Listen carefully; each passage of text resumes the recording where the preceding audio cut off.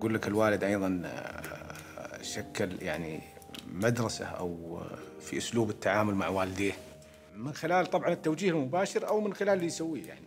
مثلا ما أذكر أنه جاء من خارج المملكة وتوجه إلى البيت مباشرة. لازم كان يطلع من المطار على بيت الجد والجدة يسلم عليهم. بملابس السفر تو حتى يعني. مثل هذه الأشياء اللي نشوفها وإحنا صغار يعني ندرك أهمية يعني علاقة الإنسان بوالديه أنه أولوية في السلام عليهم والتواصل معهم.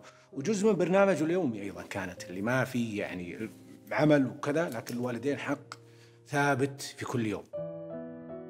أنا كنت في حاضر لمؤتمر منظمة الأغذية والزراعة في روما.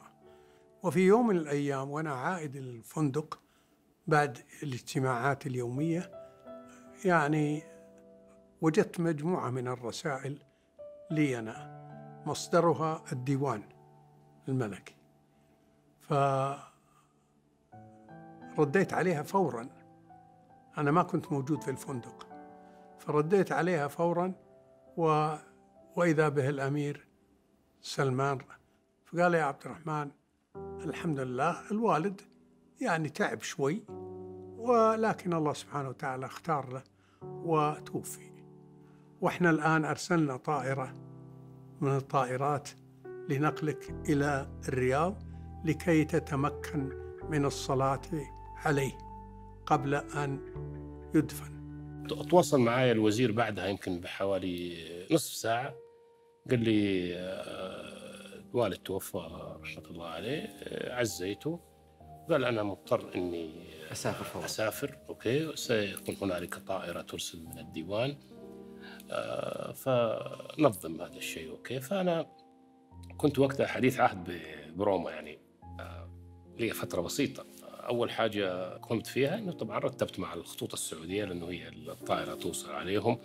المطار اللي, اللي حيغادر منه وأذكر أنه على أساس ما أخذ مخاطرة آه، الساعة يمكن واحدة ونص في الليل قلت للسائق خذني خلينا نشوف طريق المطار ذا كيف يعني نقدر نوصل له عشان لا بسهولة. إيه بسهولة عشان كانت الرحلة فجر.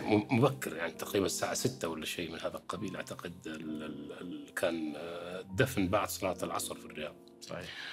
المهم آه تأكدت من كل شيء كل حاجة. أنا ما نمت ليلتها. يعني الساعة أربعة ونص آه لبست ورحت في الفندق. أوكي جلست آه، على خمسة ونص اتصلت فيه قلت له مع الوزير. قال أنا جاهز تفضل. آه كل شيء تمام وكل شيء جاهز. و... و...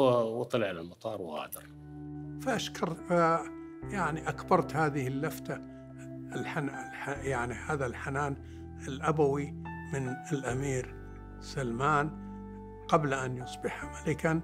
وقلت له أنه هذه لفتة جيدة لولا إرسال طائرة لما تمكنت من الحضور دفن الوالد والصلاة عليه.